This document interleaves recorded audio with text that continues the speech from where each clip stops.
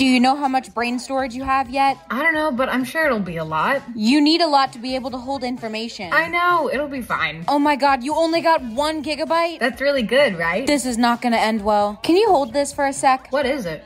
Oh, it's a Barbie. Barbie. Okay, why are you petting her? Hey Bailey, what's up? Barbie. Uh, okay. Don't talk to her. She doesn't have any storage. Bailey, 2 plus 2 equals 5. 2 plus 2 equals 5. Haha, that's great. The first president was Dora the Explorer.